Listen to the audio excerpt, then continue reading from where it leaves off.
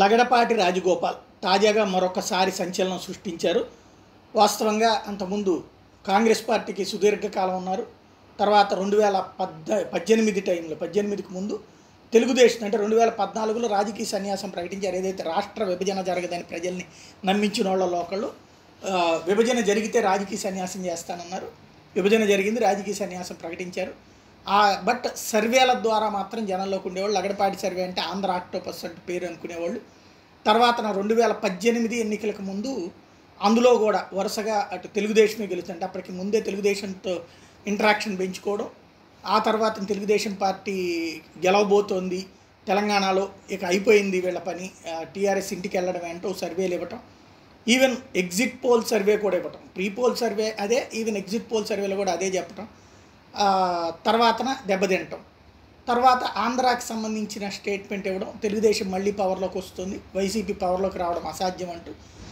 దానికి మళ్ళీ exit poll survey కూడా అదే ఇచ్చి రాజకీయ సన్యా సర్వేల సన్యాసం చేస్తానని ప్రకటించాం. దాంతో సర్వేల సన్యాసం కూడా అయిపోయింది అక్కడ ఓటమి తర్వాత.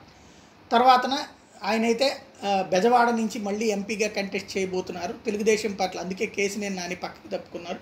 కేసీనేని నాని ఎంపీగా చేయనన్నారు కదా. తను విజయవాడ ఈస్ట్ అడుగుతూ ఉండటం.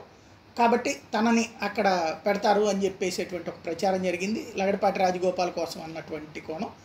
అయితే లగడపాటి రాజగోపాల్ తర్వాత అయితే ఆ, తాజాగా వచ్చేటప్పటికి కృష్ణా జిల్లాకి రావడం ఒక ఎత్తు.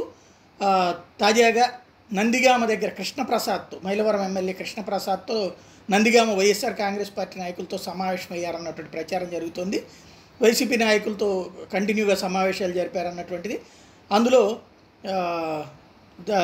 దాదాపుగా అక్కడ పరామర్శ పేరుతో నందిగామలో అనుచరుడు పాలేటి సతీష్ నివాసంలో వైసీపీ నేతలతో వైఎస్ వసంతకృష్ణ ప్రసాద్తో కలిపి సమావేశమయ్యారు.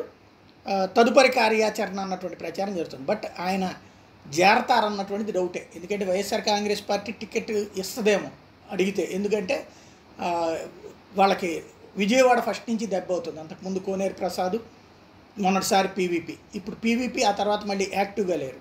కాబట్టి అక్కడ లగడపాటికి ఏమైనా ఇస్తుందేమో అడుగుతాడేమో ఈయన. కానీ ఆయన సిచ్యుయేషన్ చూస్తే ఎందుకంటే ఇప్పుడు ఆయన వ్యవహారాలంతా కోర్టుల్లో ఉన్నాయి. మొత్తం కోర్టు ఏంటి? అటాచ్మెంట్లో ఉంది వందల కోట్ల రూపాయల వ్యాపారాలు.